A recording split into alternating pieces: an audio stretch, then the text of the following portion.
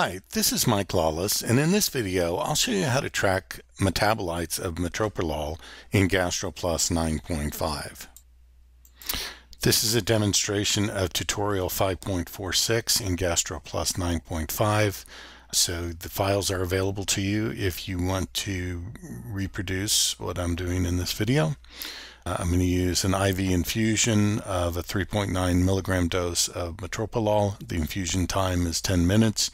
We're going to track the concentration in plasma and the amount in urine for both metoprolol, the parent compound, and its metabolites. This demonstration would require the metabolism and transporter and also the PBPK modules of GastroPlus. Metoprolol is primarily metabolized by CYP2D6.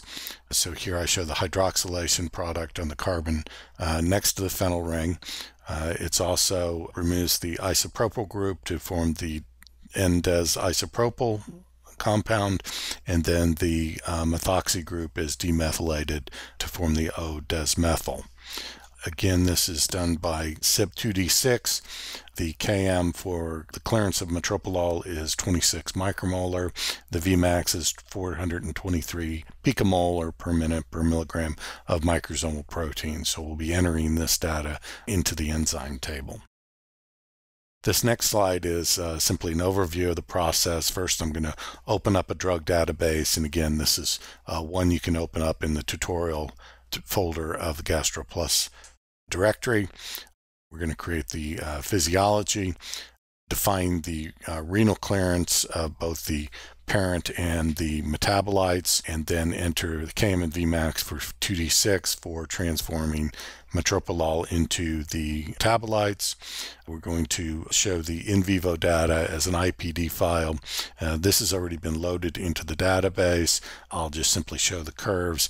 We're going to track both the in vivo data for the plasma concentration and the amount in urine for both the metabolites and the parent compound.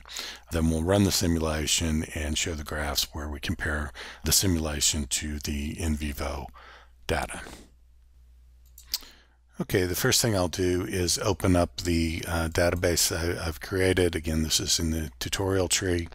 Uh, in this particular database, there's two records. Uh, the first one is for metoprolol, and the second record is for the metabolites. And again, there's no structure here because we're tracking all the metabolites, all three metabolites here. Uh, so the first thing I'm going to do is go to the pharmacokinetics tab and define a new PBPK uh, model. It will be for healthy male, American male that's 30 years old uh, with a weight of 86.27 kilograms. Uh, so now save this uh, in the same folder as the database. So now I'll click on the Edit PBPK button in order to define our clearance in the kidney for this first record.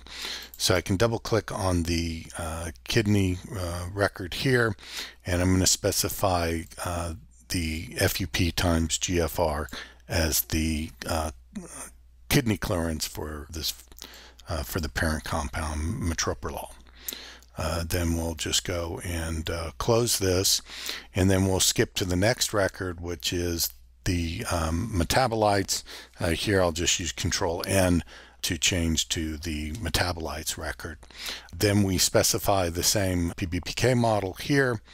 Uh, here we're going to edit it and again edit the uh, kidneys here and then specify a simple clearance here of 5 liters per hour for the um, metabolites. Now if we take a look at the PBPK summary for the metabolites, uh, we see that there's a value of 5 liters per hour for the uh, clearance in the kidney for this record.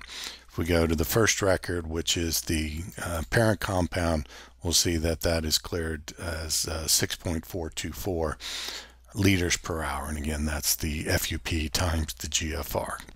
So now let's go back uh, to the compound tab. And now we want to enter uh, data in the enzyme table. We're going to specify the 2D6 enzyme here. Uh, the location is going to be PBPK. The data source as microsomes is fine. Now we're going to go into the unit converter and specify uh, an unbound value with a Km of 26 uh, micromolar, and then the Vmax uh, in vitro is 423, and we have to change the units to picomole per minute per milligram of microsomal enzyme. Uh, so this will set up uh, this data here.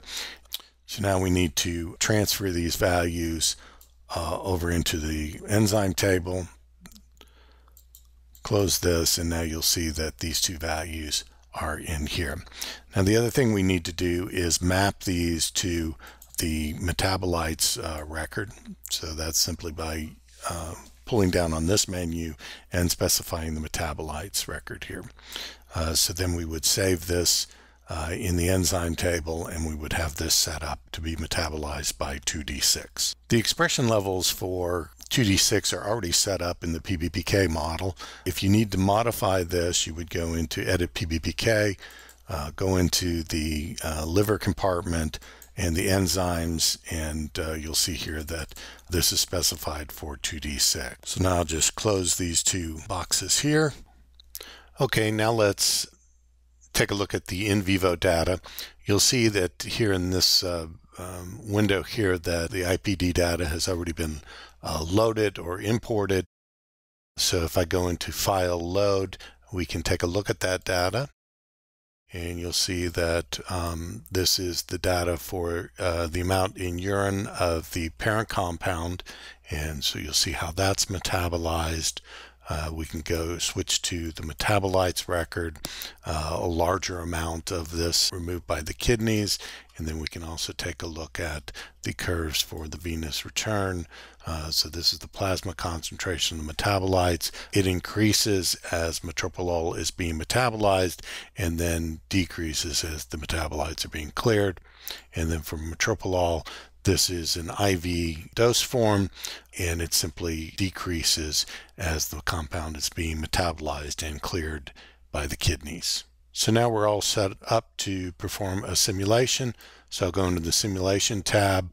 I've already defined this as a 72 hour simulation. So I cl simply click on the start button and the simulation starts. Finishes fairly quickly, so we'll just let that finish. And uh, you see the Cmax is a little bit off, so it's a little bit high on the Cmax of the parent compound. Tmax looks fine, and then the area under the curve uh, looks pretty good compared to experimental results. If we go into the graph tab, we can click on the new plot and uh, select curves both for the parent and the metabolite. So we'll go into the pharmacokinetics tab. The plasma concentration is already selected.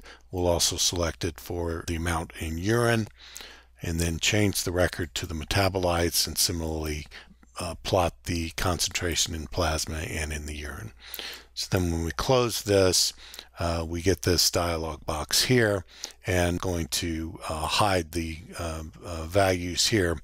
Uh, this is defined for the tissues. So in cyan is for the kidneys and then in the dark blue is the concentration in the plasma. We can uh, color this by the compound type in order to see that th this is for the metabolites and then the red curves are for the parent metoprolol. And so this shows uh, that, you know, there the clearance is a little bit overestimated uh, uh, since this line uh, for metoprolol is a little bit below the uh, experimental results. And then you also see that the metabolite is a little bit high. Uh, so you could adjust that just a little bit maybe to get a better fit. So in closing, I just want to thank everyone for uh, watching this video. If you have any questions, uh, you can email me at mlawless at simulations-plus.com. Thank you very much. Take care.